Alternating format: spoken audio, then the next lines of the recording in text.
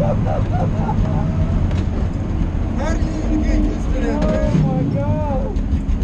You're crazy, man. You're crazy.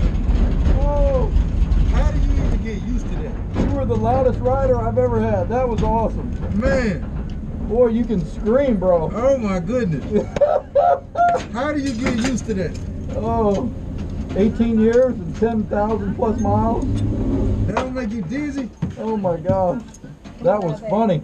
How you get up? Deborah, you should have heard that guy scream.